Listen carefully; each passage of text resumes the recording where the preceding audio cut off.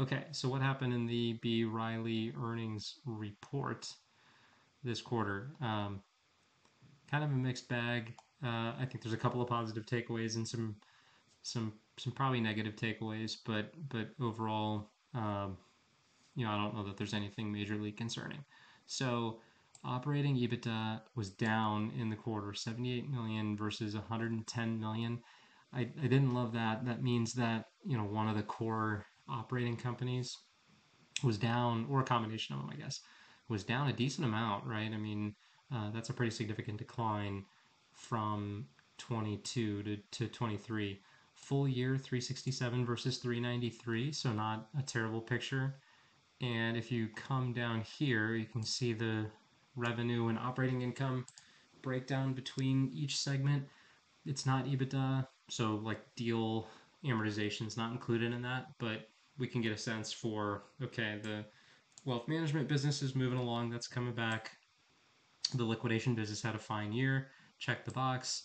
The consulting business, appraisal, uh, GlassRatner, that business is still doing really well. 30 million in EBIT versus 16 million the year before. Communications, they bought some stuff last year, so there's probably a decent amount of um, non-cash DNA in this, but that probably had an okay year as well. And then consumer had the write down for Targus. Uh, but my guess is that business was a business was originally slated to be like a 50 million EBITDA business, and it probably was a net loser for the full year. So I, my guess is that was bad. Um, and then cap markets included trading stuff and interest income on the loan book and whatever. So we don't really know what that looks like until we get the until we get the 10k. So those are just some quick notes on the actual operating companies. Uh, well, I guess there's one other kind of check the box area that I thought was positive. This right here, the dividend income, about 48 million for the full year. So that's the brand portfolio, mostly the brand portfolio, like Hurley and Justice and a couple of others. That gives them just pure dividends, right? 100% margin, um, cash income. I think that's a really valuable piece of the company. And remember, there is a good slug of the securities that they own tied up in that brand portfolio. So that's what's in that. So coming back to the balance sheet, I think this is the core short thesis is that, you know, there's for set aside the fraud for a minute and set aside the operating businesses. But within that, I, I actually think the real issue with B. Riley is that it's just it's it's overextended. There's too much debt at the moment. And and I think a big piece of that is short saying the loan book isn't worth what it's what it's marked at, so 530 million, and within that is the 200 million loan to Brian Kahn individually, right, like a personal loan backed by FRG, and then the other piece of it is this 1.1 billion securities portfolio, and that's their their 13F holdings, plus some other stuff that's um, you know marked privately. Uh, so like in there would be Babcock and Wilcox, the, the significant stake they own, uh, the FRG stake at 280 million, and also the brand portfolio. I think it's really just Hurley and Justice actually that are in that 1.1 billion. So I think the shorts are arguing that hey, that 1.1 billion plus the 530 million, it's I think they're arguing it's worth close to zero maybe, or worth significantly less at least. And I would argue that's probably not the case. So I think that's what it comes down to. And and really on the surface you'd look at it and say, man, they only have a 312 million of equity on a 5.7 billion balance sheet, but you know, you, you kind of have to net out the securities lending portfolio, right? There's uh, you know an offsetting asset and liability. So if you net down the balance sheet for that, it doesn't look as egregious. And I'll come back to the other argument as to why it may not be as bad as it looks. So okay, I guess to recap, some of the operating businesses are still chugging along doing well, others maybe not so hot. Um, and the balance sheet, I mean, it, honestly, it looks a little bit better than I thought it was going to be, frankly, with the moves from September 30th to 1231 in some of the uh, equity holdings they have. So to have 230 million in cash, 1.1 billion in securities, and 530 loans, that seems pretty good to me. Okay, uh, let's come over here. So with the release or report, whatever, was also this announcement that they're going to sell the appraisal and liquidation business. And that's really interesting to me because I, I actually think that appraisal business is a really good business and liquidation can be, it's just kind of lumpy. But this paragraph jumped out to me right here. So it is a 153 million revenue, 35 million EBIT chunk of companies. Um, and it's currently carried on the balance sheet at 35 million, right? So the appraisal my, my first thought was for B. Riley's consulting business, like FTI Consulting might be a decent comp, or like that group of businesses which trade at, you know, 15 times EBITDA. This business may not be worth that much, um, given the lumpy liquidation segment within it, but this is really interesting. So, what can they sell a 35 million EBIT company for with 35 million of book value? So, let's see. I came over here and just said, okay, it's worth, let's say it's 35 million in EBIT, right? Let's just say that's the number. And a couple different scenarios for EBIT multiples. And, you know, maybe they get 10x or 350 million for it, right? Take away some transaction fees because they hired an investment bank to help market it.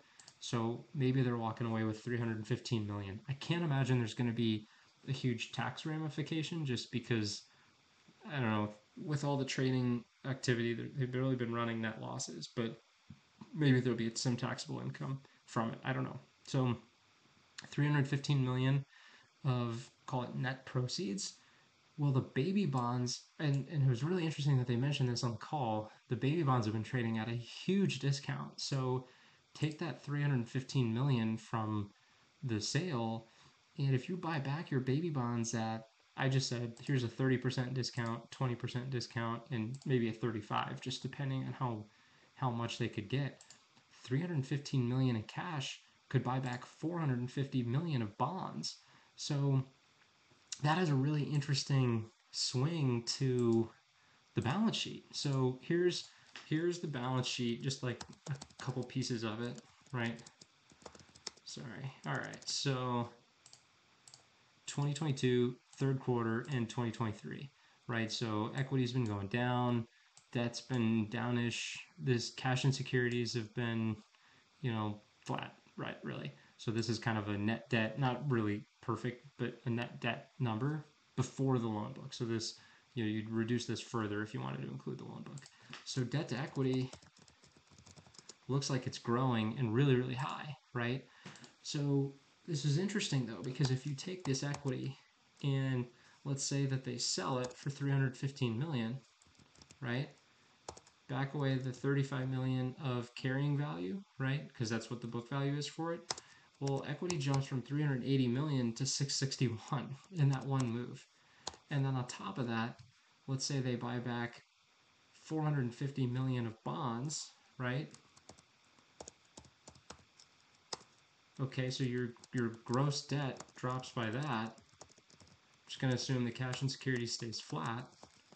Your, your debt and equity changes pretty dramatically. Oh, and I guess, by the way, you know,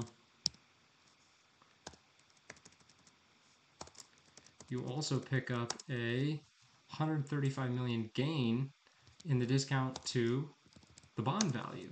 So that one move, by selling that one segment at a at a good multiple and a huge multiple over carrying value, and then buying back your bonds at a steep discount, that has a dramatic change in the look of your balance sheet, like overnight, right? Overnight.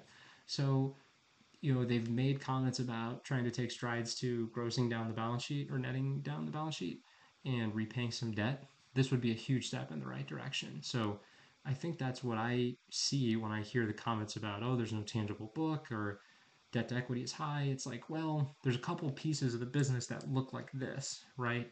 So same for the brands business. The brands kick out 48 million of dividends and I I'm pretty sure that the carrying value on that is I don't know, 200 million or less right? So what is that worth? If that's worth 400 to 500 to 600 million and it's got carrying value of 200, well, there's another you know huge jump in in your net book value. So I don't know that book value in itself is is truly a great metric to be looking at here. So I think this was the biggest takeaway. If they actually, you know, plow ahead with with doing that and and using that to buy back the baby bonds at a, at a steep discount, I mean, you know, you can pick any of these series. And you're at